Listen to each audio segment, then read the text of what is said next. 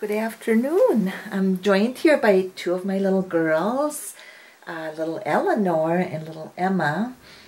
Uh, little Emma is the uh, Lee sculpt, and uh, I I really love this little girl. She's wearing a really pretty little sweater, kind of a pale pink, and um, her little sleeper has little pink and lavender flowers with yellow uh, very cheerful little sleeper. I love putting my babies in, in these cozy, comfy clothes and this kind of clothes. So there's little Emma and she's sound asleep right now.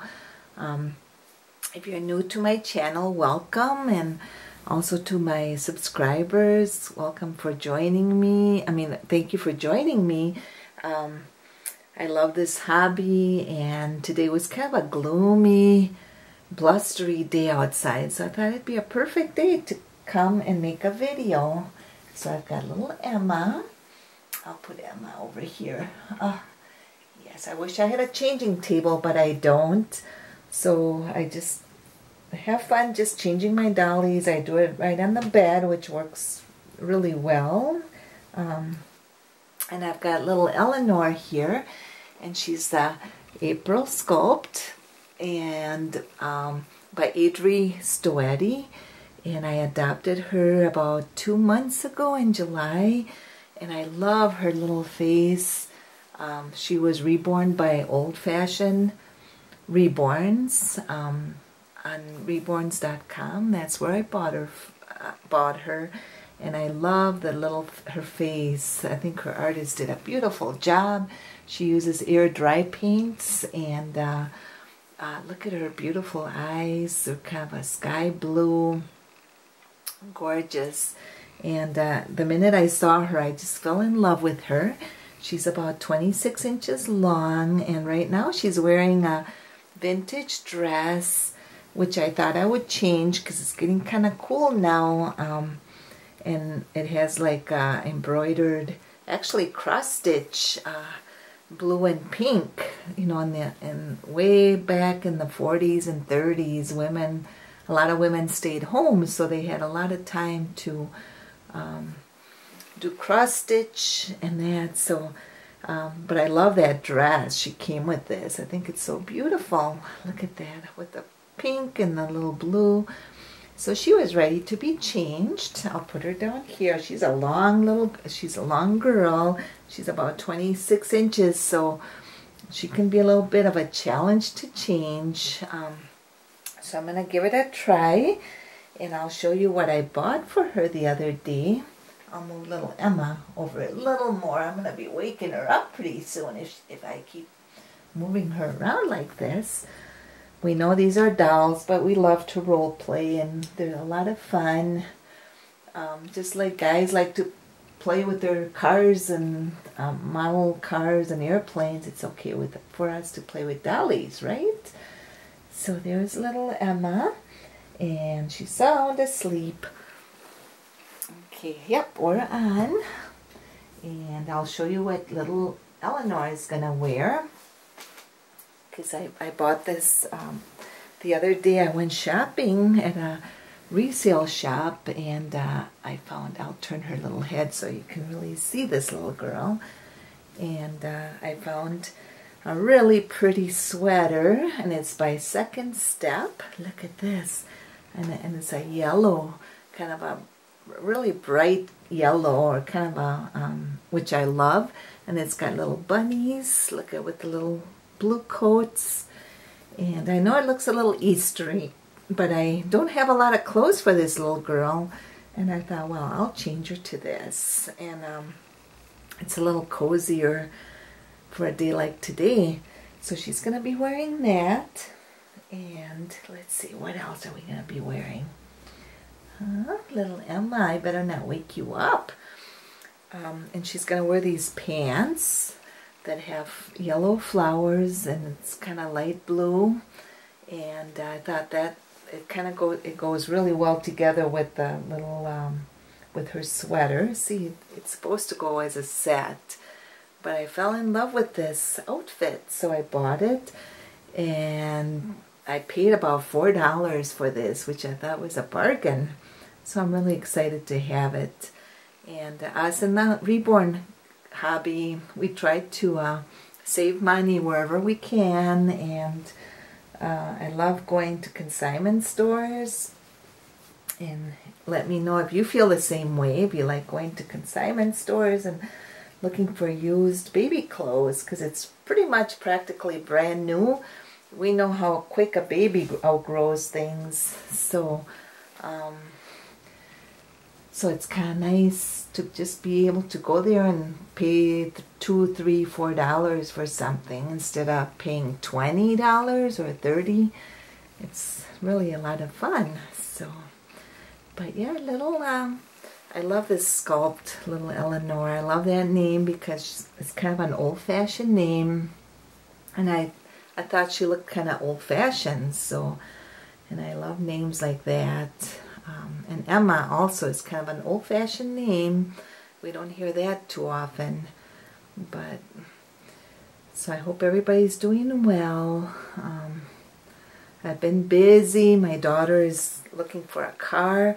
So the other day we all went and looked, went looking for cars to help her and give her advice.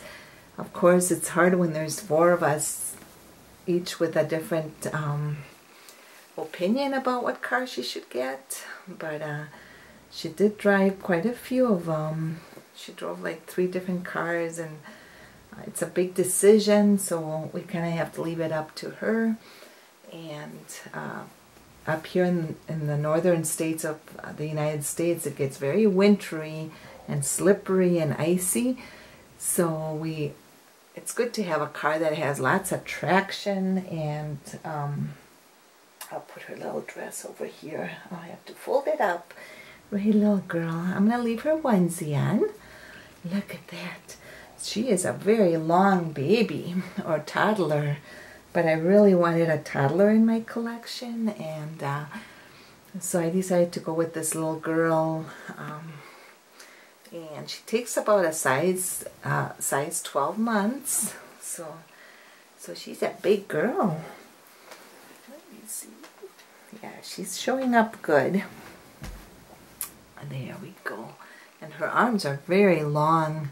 Look at that. They're very long and um, graceful. She has very graceful uh, hands and arms. So she's a little sweetheart.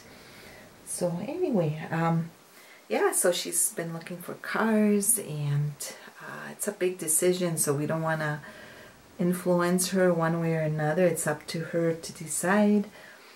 Um, she does like the um, Subaru Outbacks. That's her favorite. I guess she really likes those cars. So we'll see what decision she makes.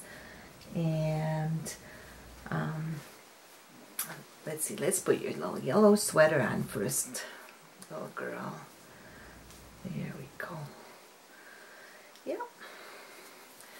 There, we'll put this sweater on. I'm not going to put a top underneath because uh, I don't really have a long sleeve top shirt for her. I need to look for some more clothes. I don't have a whole lot. And I, would like to once in a while dress her in like uh, more uh, clothes from today versus vintage clothes. So I'll kind of go back and forth. If I see something vintage that I love, I'll, I'll make sure to buy it for her. But um, I haven't checked on eBay, but I should really look there too. There might be some really neat dress clothes or dresses that she could wear. So there. Oh, that sweater is gonna fit her perfect. Look at that. Yeah, I was afraid maybe it wasn't gonna fit her, but she does take like a size 12 months. But there we go. Yeah, so it's been, the leaves are really falling now. It's been very blustery. I guess it's, what, the middle of October? So we gotta expect that. I, if I had my choice, I'd rather have summer. That's my favorite season, if I had to pick. But we just have to take whatever we get. Right, little Eleanor. Yeah, we'll put this on. Oh my goodness. Yes. So I had a topic today to talk about uh, that we could chat about. And it's, uh, uh, let's see, where's my little card? The question is, of all the books you've read, which one made the biggest impact on you? Oh, and I really had to think about that question. Uh, and I remember in sixth grade, uh, I was in a in the English class, and our teacher um, every month or so would choose a, a new book for us to read. And uh, oh, this little girl, I gotta make sure it is tricky dressing these toddlers. Anyway, every every month or so we would read a new book, and she came out with a book called Night to Remember. I don't know if any of you have read that book. It's about the Titanic, the sinking of the Titanic. And I was, it's funny, but I never really liked reading books. You know, when I was in middle school or even high school, reading was just not my thing. I liked reading like magazines, short short stories or that, but not like a whole chapter book. And um, I started reading. I started reading. Uh, oh, we better move you over this way so they can see you. Here we go. And I started reading the night a night to remember, and I was just very enthralled by it. I I guess I, I wasn't aware of all the details of that night when the Titanic sank in 1912 and I think it was April of 1912. Um, I should have looked up my facts, but many people died. Um, many passengers died in that ship. I mean, it was supposed to be the unsinkable ship, and um, and uh, nobody ever thought that it would uh, sink. But I remember as a, a sixth grader reading this book and just imagining what it would have been like to be on that boat, and uh, I just could not imagine the the terror, the fear that these people were going through, the passengers, and not knowing if they were gonna be able to be saved or not, and um, so to this day, I just uh, really, you know, count my blessings, and I realize you know, life can be very unpredictable and um, we can't live in fear, but at the same time we have to be, uh, do things that, um, that are safe and, uh, you know, not do foolish things and that. I guess I was always raised to be, think about things before I did them and that. So, uh, but you know, with the Titanic, these people didn't have a choice. They were in, on this boat and it was about to sink and it was women and children first and um, I just cannot imagine what they went through. It had to be horrible, the feelings that they were experiencing. Look at her.